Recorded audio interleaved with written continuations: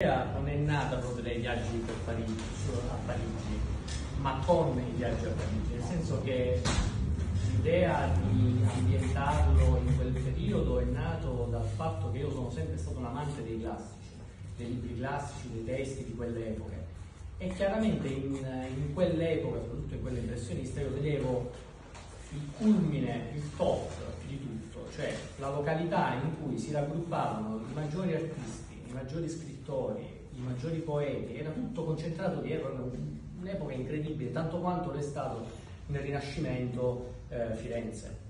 Quindi quel periodo mi affascinava tantissimo, oltre che mi affascinava tanto la pittura degli impressionisti, quindi un po' la volevo anche scoprire, comprendere, perché mi, mi, piaceva, mi piaceva molto Manet, Monet soprattutto, e gli altri, quindi ne conoscevo poco, ma la volevo approfondire. Quindi nella mia idea dicevo, beh, un giorno magari raccogliendo materiale potrò essere in grado di scrivere un romanzo, ambientarlo in quell'epoca e parlare degli impressionisti e del, di, di, di quello, soprattutto vivere quell'atmosfera. Io mi volevo buttare dentro quelle atmosfere, volevo viverle, perché è stato come una sorta di desiderio di vivere quell'epoca, pur non essendoci, immergendomi completamente. Quindi attraverso poi la, la lettura di vari testi, attraverso l'approfondimento, eccetera, eccetera, in un certo qual senso questa, questa vita l'ho vissuta effettivamente. E quindi l'idea iniziale era quella, poi chiaramente dovevo anche dare un po' di sostanza, perché man mano che io cercavo, trovavo materiale, c'era diciamo, l'idea di fare tutto, poi a un certo punto è nata, anche, cioè, è, nata una maggiore consapevolezza e comprensione di quello che era successo. Cioè il fatto che siano, ci siano stati gli impressionisti e ci sia stata questa rottura con il passato mi ha fatto riflettere molto su, su, questo passaggio importante di rottura con il passato, perché proprio è un periodo spartiacque, e di una riflessione nei confronti dell'arte moderna, contemporanea che era un altro mio cruccio, quello di capire e cercare un po' di sviscerare il perché l'arte contemporanea è tale.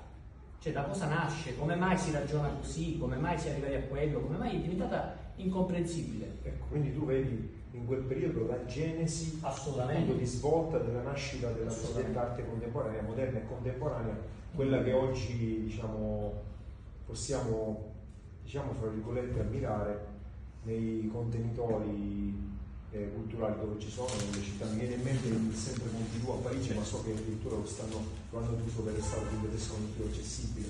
O altri siti, altri posti, diciamo che a Barcellona so che c'è un altro. Eh, centri di arte contemporanea ce sono, ce ne sono ovunque. Quindi è chiaro che. Quindi tu hai voluto cogliere questo punto di svolta in quel periodo preciso eh, storico a cavallo della seconda metà della allora, c'erano più idee, più cose. Da una parte rivivere proprio quelle atmosfere attraverso l'approfondimento e proprio vivere i costumi, il modo di fare, l'atmosfera, il modo di vestire, la grazia di quell'epoca, che è una cosa che, che a me manca. Parli dell'epoca attuale. Anche la Belle Époque, sì.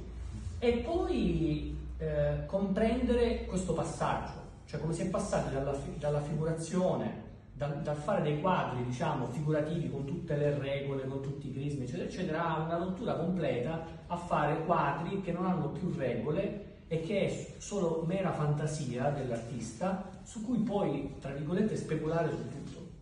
Ecco, Quindi, a questo punto mi sorge una domanda. Tu sei d'accordo quindi con la rottura completa delle regole nell'arte, cioè nel senso per arte intendiamo tu specificamente hai, hai espresso nella pittura, ma quelle che sono tutte le altre arti, ad esempio, non so, mi viene in mente anche la scultura, le arti figurative, ma anche, non so, in letteratura, in poesia, in musica, tu sei d'accordo con questa rottura completa di regole o pensi che bisognerebbe in un certo senso mantenere un minimo di, diciamo così, di limite o di... Allora, io eh, sono dell'idea che ci vuole sempre una mezza misura. Io sono sempre dell'idea del media stat virtus, ma ehm, la questione qual è? Che è chiaro che ci sono dei frangenti in cui quando le regole si rompono si esplora, quindi la musica, l'arte, tutti hanno esplorato, hanno visto che si era aperta un campo, una prateria enorme, quindi hanno esplorato vari generi, varie cose, il che è legittimo sotto molti punti di